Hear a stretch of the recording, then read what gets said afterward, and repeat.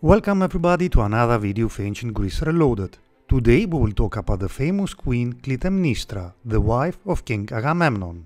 By the way, if you like the video, please hit the like button and subscribe to our channel so to stay tuned for upcoming videos.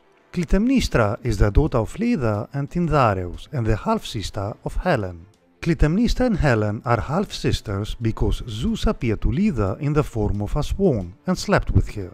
On the same night, Tyndareus also had sex with Leda and Leda became pregnant. Leda gave birth to four children, or in some versions, laid four eggs.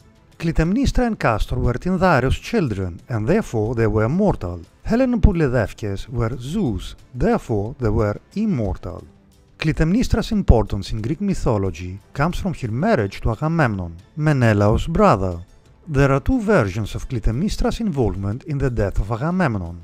Homer describes Agamemnon's departure for the Trojan War to help to avenge his brother Menelaus. While Agamemnon is away, Aegisthus plotted to seduce Clytemnestra and murder Agamemnon once he returned from the Trojan War. As the years passed and there was no word that the war was anywhere near an end, Clytemnestra weakened and welcomed the sensuous advances of Aegisthus. When the war does finally end, Agamemnon arrives home to be killed by men hired by Aegisthus. Orestes, Agamemnon's and Clytemnestra's son, kill Aegisthus to avenge his father's death. Clytemnestra disappears or is killed but Homer does not go into too much detail about her. In this version, Clytemnestra is weak and insignificant compared to the male players. Aeschylus' series of plays called Oresteia provide the most popular version of this myth.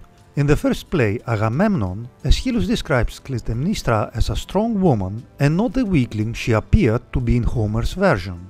When Agamemnon leaves for the Trojan War, Clytemnestra starts her torrid affair with Aegisthus. Together, they plot to kill Agamemnon as soon as he returns from the war. When the signal is given that the war is over, Clytemnestra prepares for the return of Agamemnon.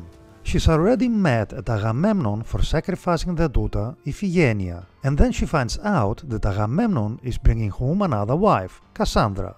As soon as Agamemnon's chariot pulls up in front of the palace, Clytemnestra goes out to welcome Agamemnon. She lays a purple cloth on the ground for him to walk over. At first Agamemnon refuses to walk over the cloth, but soon gives in to Clytemnestra's request.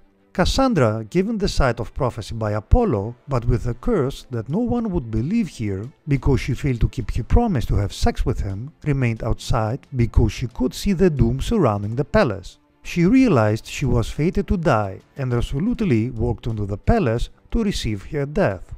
When Cassandra finally enters the palace, a cry is heard and a blood-drenched Clytemnestra is shown standing over the dead bodies of Agamemnon and Cassandra. Aegisthus marries Clytemnestra to become king, but is no more than a puppet to Clytemnestra. This ends the play Agamemnon. After the murders, Aegisthus replaced Agamemnon as king and ruled for seven years with Clytemnestra as his queen.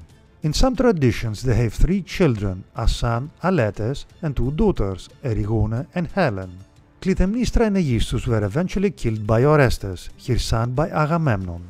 The infant Helen was also killed. Aletes and Erigone grew up at Mycenae, but when Aletes comes of age, Orestes returns from Sparta, kills his half-brother and takes the throne. Orestes and Erigone are said to have been married and had a son, Penthilus.